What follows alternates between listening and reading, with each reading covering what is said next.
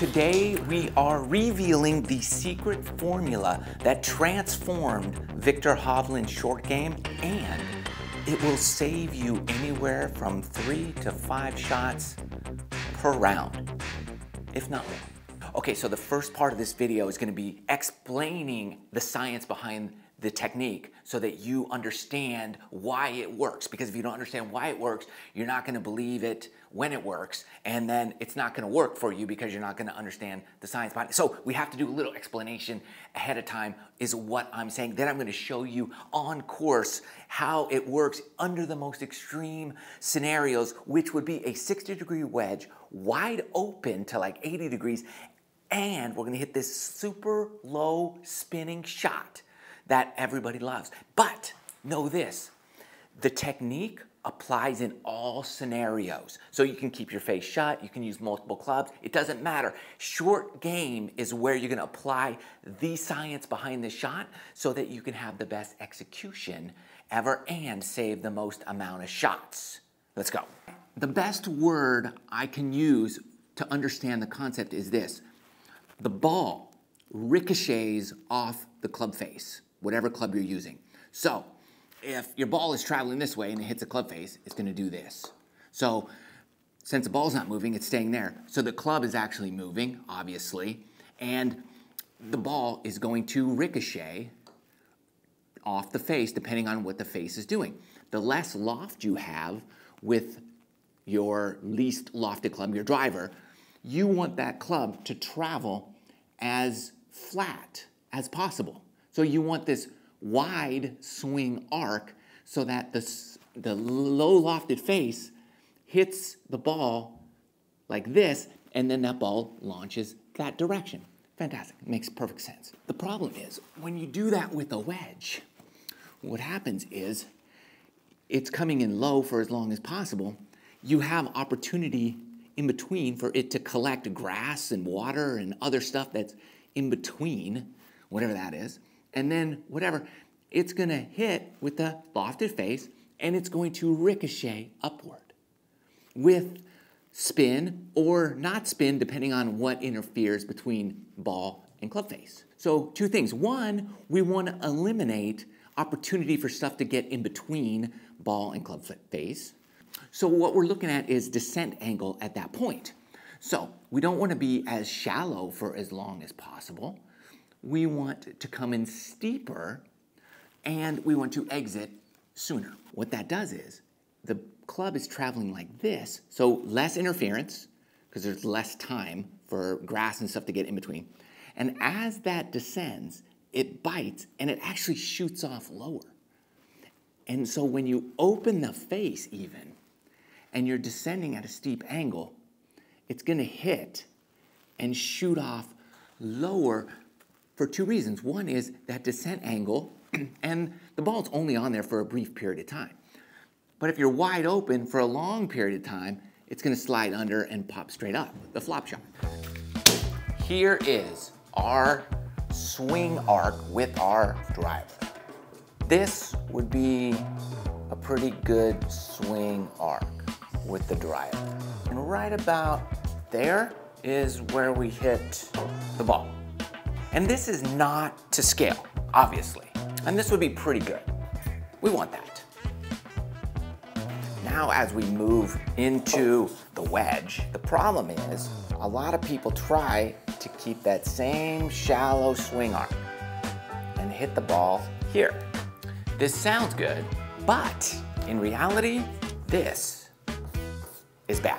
So what people do is they say, oh, I need to hit down on it. So I'm gonna take this shallow swing arc of my wedge and tilt it. So I hit down on it. And then I'm hitting down on the ball and hitting like so.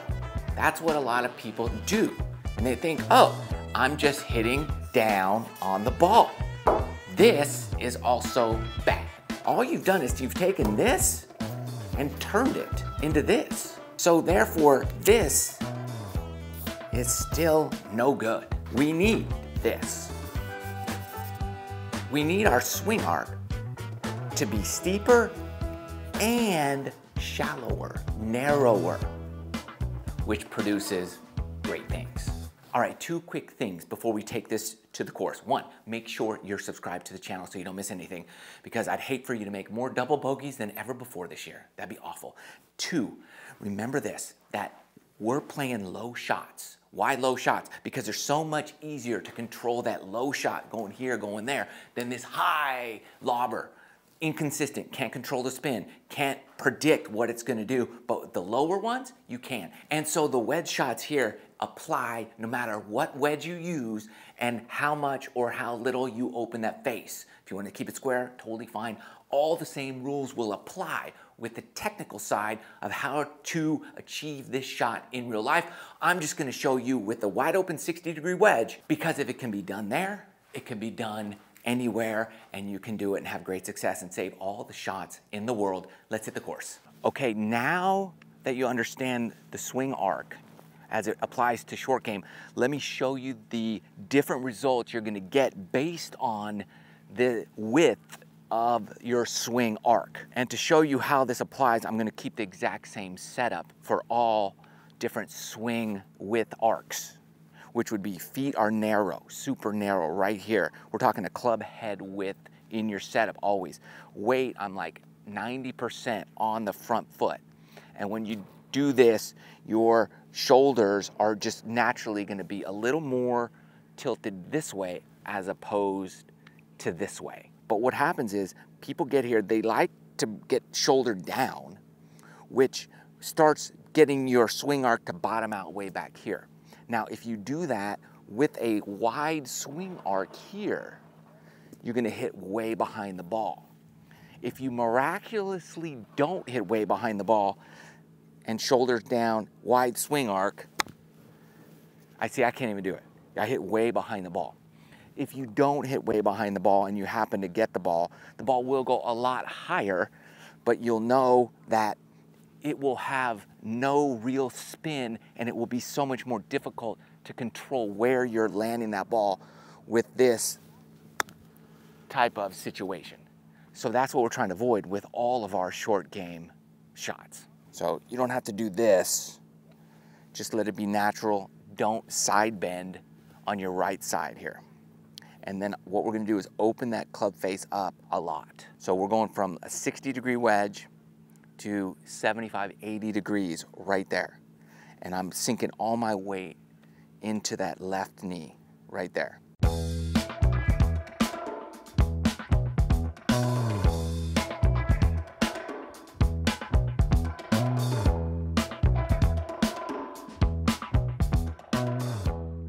Okay, now that was with my narrow, perfect short game swing arc. Now, if you do everything correctly here, but you have this wide swing arc, this is the kind of result you're gonna get.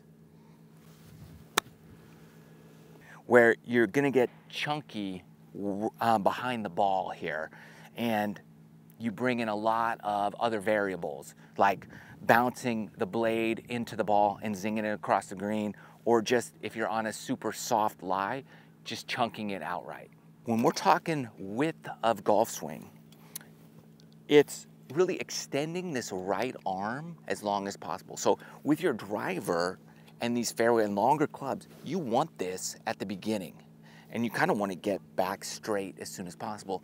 In the short game shots, we don't want that. What we want is right elbow in to our gut here. And I want to keep it there most of the time here.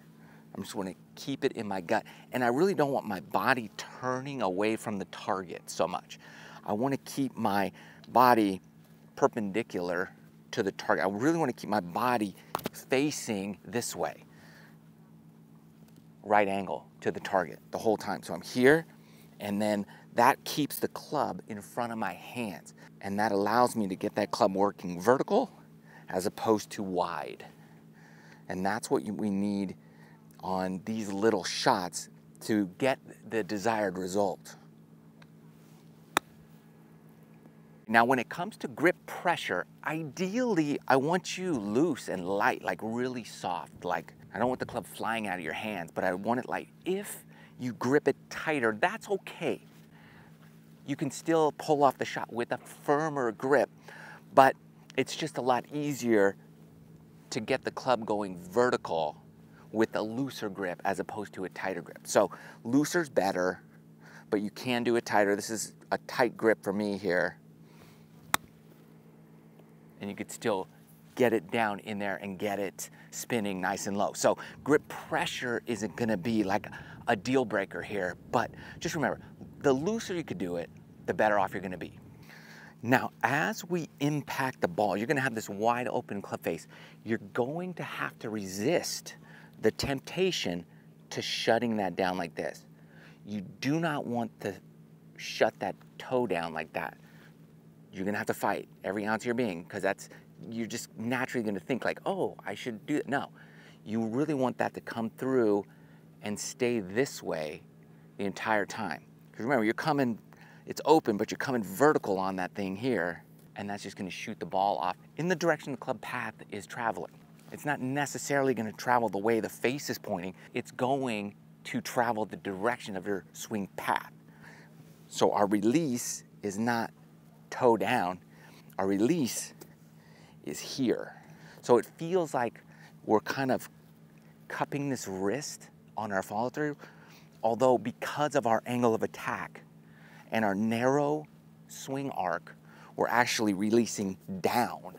So it doesn't look right, it doesn't seem right, but it performs right. The only other piece we need to tackle now to finish it off so you have perfect results is a little bit of what does our body do through these shots because that's very important when manipulating or managing our swing arc width. Okay, a common problem that you're gonna run into is this. A lot of people are going to want to turn their body toward the target here. We don't wanna do that. Now with all your other shots, driver, whatever you hit, and you want to rotate that body around here. If you do that in the short game, what's to happen is you're to do this, and you're to come over here and fling it around, and you're to send that thing all the way across the green. So the feeling I want you to have on all your short game shots when you come through is that your right shoulder, I want this to come to my left toe, like here. I want it down like this so it matches my toe, my foot. So my foot is here. I want my shoulder, this shoulder in particular, to get to the toe. Here, it's coming across and it's more a focus of my left shoulder. That's not what we want here. I'm gonna focus on my right shoulder just coming slightly down so it matches my shoe. And this is gonna get your body moving in the right direction, kind of down here and not up and out around like that. This is really critical when it comes to managing that angle of attack and the width of the swing arc. Because once we rotate, we take that width and we move it around to this side and it's lengthening everything that we're trying to shorten. So although this may seem complicated and difficult in and of itself, with a tiny bit of practice, you'll be able to get super comfortable with all your little short game shots around the green. And uh, a few may even go in. Thanks for watching. Love you guys. See you next time.